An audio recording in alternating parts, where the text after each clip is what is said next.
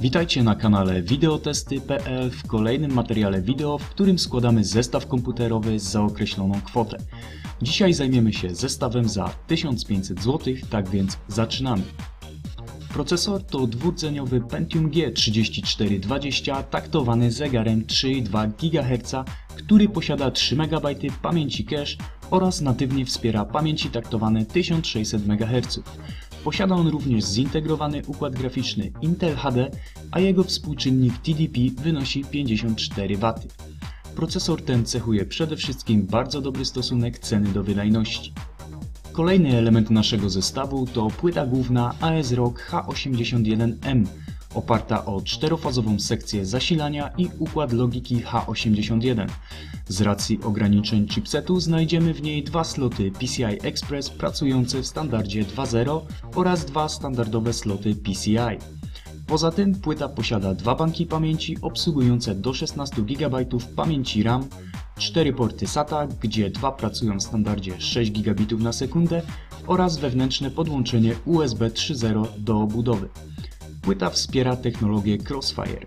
Porty na tylnym panelu to zintegrowany układ dźwiękowy 7.1, cyfrowe wyjście dźwięku, dwa porty USB 3.0, cztery porty USB pracujące w standardzie 2.0, jeden port LAN, złącze HDMI, DVI, DSAP oraz port PS2.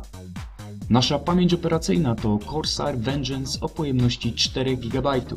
Ich taktowanie wynosi 1600 MHz, a napięcie pracy to 1,5 V.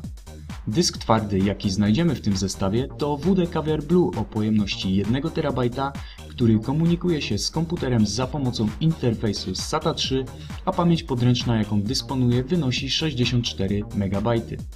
Karta graficzna to konstrukcja Gigabajta, czyli Radeon HD 7790. Na pokładzie znajdziemy 1 GB pamięci typu GDDR5, złącze Crossfire, gdyby ktoś chciał dorzucić drugą taką samą, oraz jednowentylatorowy układ chłodzenia. Karta ta komunikuje się z komputerem za pomocą złącza PCI Express 3.0, a porty w jakie wyposażył ją producent to 2 razy DVI, HDMI oraz DisplayPort. Obudowa dla tego zestawu to Zalman Z3 wyposażona w trzy wentylatory 120 mm, dwuzakresowy kontroler obrotów, filtry przeciwkurzowe oraz jeden port USB 3.0 na topie obudowy. Zasilacz myślę, że wszystkim bardzo dobrze znany XFX o mocy 450 W, wyposażony w 120 mm wentylator, a jego sprawność została potwierdzona certyfikatem 80 Plus Bronze. Cena takiego zestawu to 1540 zł i myślę, że jest to dobra baza pod ewentualną rozbudowę w przyszłości. Jeżeli macie swoje propozycje, zostawcie komentarz pod filmem, a ja Wam dziękuję za uwagę i do usłyszenia.